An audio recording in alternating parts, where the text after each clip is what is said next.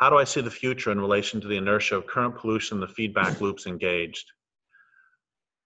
I don't think the biggest problems are feedback loops. I think that those are important, but I think the biggest problems, the biggest problem is uh, denial and the loyalty of almost everybody in this culture to this economic system and not to the living planet. I see that as the primary problem we face. If we were, in fact, sane um, and not an entire omnicidal, sociopathological culture, which has turned us collectively and individually into zombies, then we would be using our self declared intelligence to solve problems and not create more, but we are not. Uh, when I was writing a language older than words, one night I asked for a dream that was, uh, I asked for a dream that would tell me the future and what would the planet look like.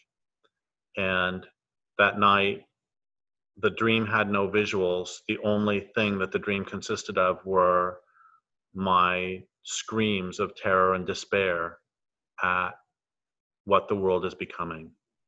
And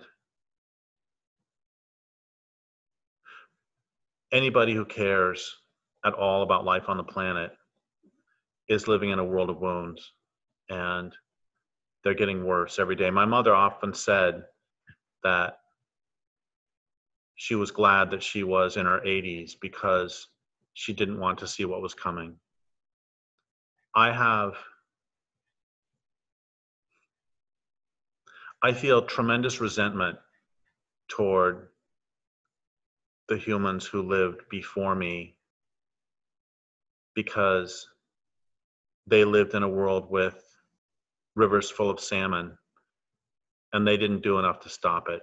And they lived in a world with skies full of migratory songbirds and they didn't work to stop this omnicidal culture. And I've said many, many times that the only measure by which we'll be judged by those humans who come after is going to be the health of the planet. And as my friend Lierre Keith often says, if there are any humans alive 100 years from now, they're going to wonder what the hell was wrong with us that we didn't fight like hell when the world was going down. So, what do I see for the future? I see things getting worse. And for the most part, I see most people not doing a damn thing about it. We're going to fight about